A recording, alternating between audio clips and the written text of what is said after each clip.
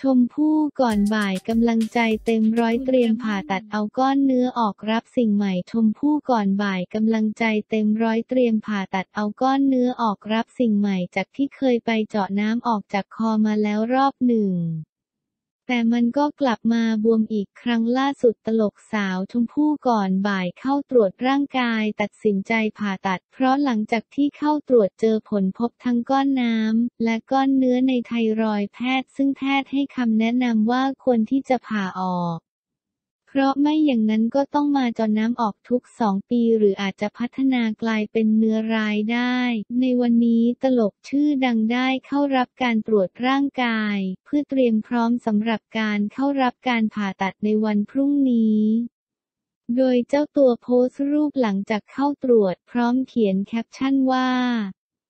มาเตรียมตัวเช็คร่างกายเตรียมพร้อมผ่าตัดพรุ่งนี้เช้าจ้าร่างกายแข็งแรงพร้อมผ่าเอาก้อนที่คออออกไปแล้วอะไรไม่ดีตัดทิ้งพร้อมรับสิ่งดีๆ ในปีหน้าทุกคนไม่ต้องเป็นห่วงนะไม่น่ากลัวหลายคนที่เคยผ่าบอกชิลมากเลยเพื่อนๆในวงการได้เข้าไปคอมเมนต์ให้กำลังใจกันอย่างล้นหลาม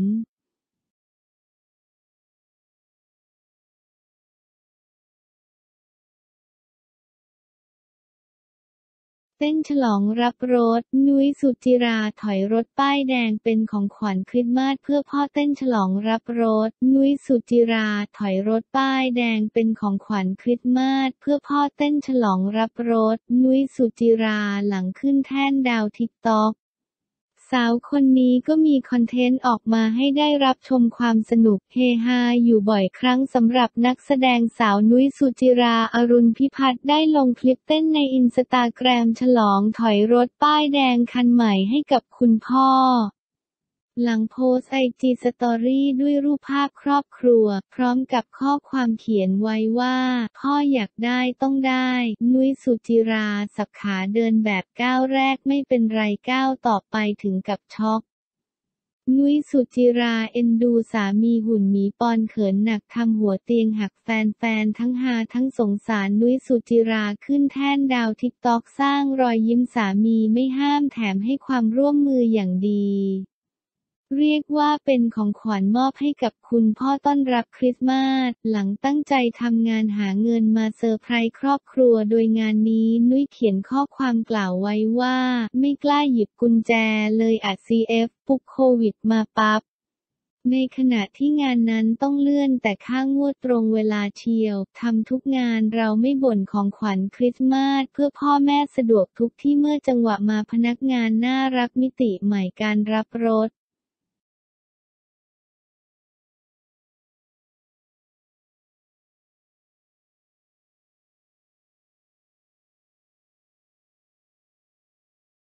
เบลล่ายกคำอวยพรวันเกิดให้แม่ดักทางห้าม follow แม่ส่องได้อย่างเดียว เบลล่ายกคำอวยพรวันเกิดให้แม่ดักทางห้าม follow แม่ส่องได้อย่างเดียว รับคำอวยพรวันเกิดมาจากทุกทิศทุกทาง แต่เจ้าของวันเกิดคนสวยเบลล่า ราณีขอยกความดีความชอบทั้งหมดให้กับคุณแม่ ปราณีแคมเปนที่ทำให้มีลูกคนนี้พร้อมกับเขียนแคปชั่นน่า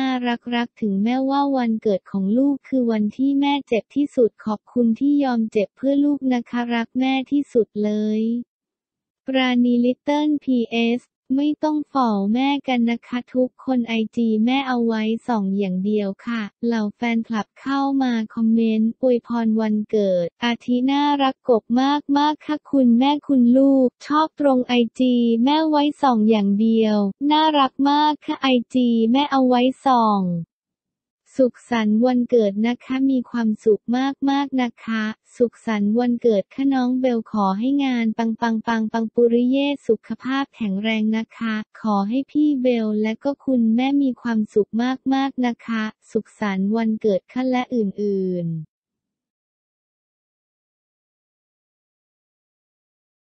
เบียร์แฟนหมอเจี๊ยบไขข้อสงสัยหลังเจอถามไม่อยากแต่งงานและมีลูกเหรอ เบียร์แฟนหมอเจี๊ยบละละนาไขข้อสงสัยตอบชัดถึงเรื่องที่เจอคนถามว่า ไม่อยากแต่งงานและมีลูกเหรอ กาะติดข่าวกดติดตามข่าวสดเพิ่มเพื่อนเดียแฟนหมอเจี๊ยบวางแพลนอนาคตด้วยกัน จนสร้างเรือนหอซึ่งเป็นบ้านที่ทั้งคู่สร้างไว้เพื่ออยู่ด้วยกันได้สำเร็จแล้วสำหรับหมอเจี๊ยบละละนากับแฟนสาวเดียบุตรสรา